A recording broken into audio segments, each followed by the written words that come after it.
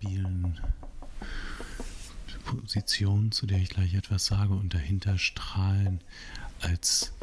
eine Art Potenzial oder urbildhafte Seelenanteile, die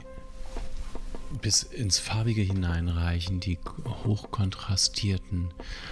Scans dieser Zeichnungen, die jetzt gerade entstanden sind und tragen sozusagen ihren Ursprung vor sich her,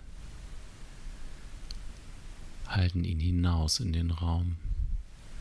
in die Welt, diese brüchigen und teilweise fast unkenntlichen Zeichnungen, die teilweise auf sehr schlechtem Papier, sehr dünnem Papier, was keine große Weisheit hat, Weisheit hat, angefertigt sind und teilweise mit schwachem Bleistift, weil sie aus der Suche stammen und nicht aus der Geste, aus dem Hören und nicht aus dem Behaupten und der Aktion, sondern weil sie etwas suchen. Und diese Zeichnungen äh, haben es verdient, dass sie in die Stärke hinein manifestiert werden. Darum diese Scans.